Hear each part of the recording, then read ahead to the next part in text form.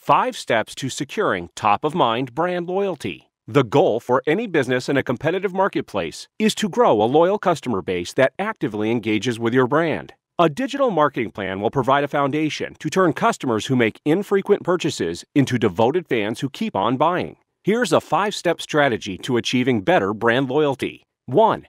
Get to know your customer better. Online research and competitor analysis will help you understand your target audience better. Being aware of their needs and challenges will mean you are ready to engage with them on a more meaningful level.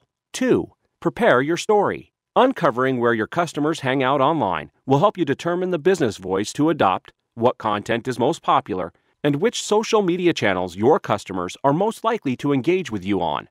3. Personalize, personalize, personalize. You can use email, social media, and customized landing pages to personalize your customer's buying cycle. The goal is to make your customer feel important by delivering relevant and rewarding personalized messages. 4. Quality and consistency. Good content is still king.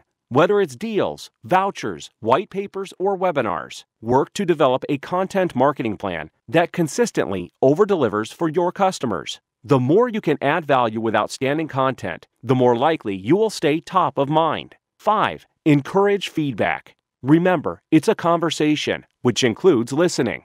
Use online alerts to know where your brand is mentioned. Then, be prepared to connect, listen, respond, and most importantly, show appreciation.